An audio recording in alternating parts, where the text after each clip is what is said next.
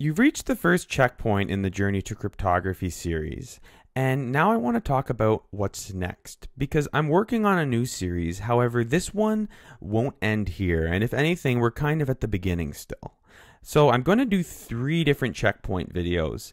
This one is on advanced lessons. However, I also want to eventually talk about tests and challenges and what we can do with more interactive explorations and computer science lessons as it applies to cryptography.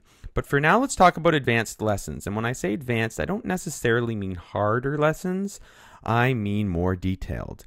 And let me give you a, conceptual idea for what I think these this series could be and, and future series.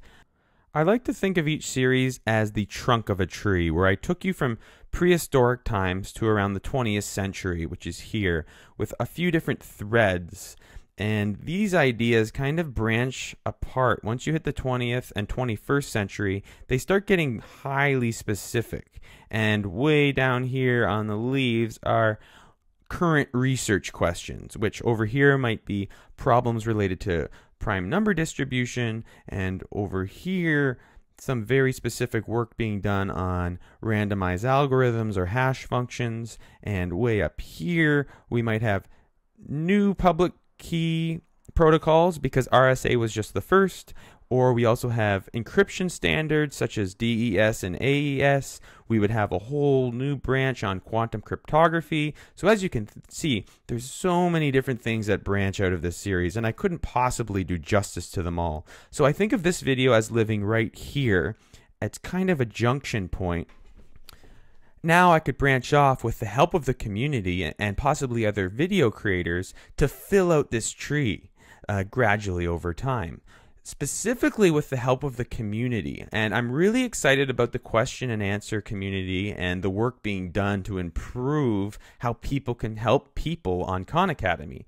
So, for example, in terms of um, what, where one of these branches can go, I've noticed clusters of questions kind of leading into a common branch. For example, under the pseudo-random number generator, I have two questions here, one by Sunny and one by Drakane. Drakane's question is, why has he suggested that time in middle, middle, milliseconds is a suitable random seed? This is a huge no-no in security.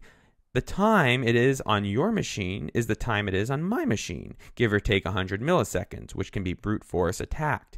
And again, a, a really this is a great question too because it speaks to the need that I didn't present a cryptographically secure pseudo random generator.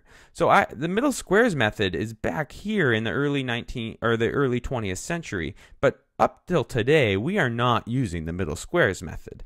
and that's a whole interesting branch.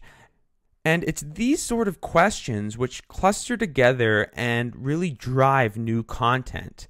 Um, and I want to show you a really interesting example of how this has happened already. This is a question Samuel asked uh, on the one time pad video. He he said, "Wouldn't a computer be able to test all possibilities very fast?"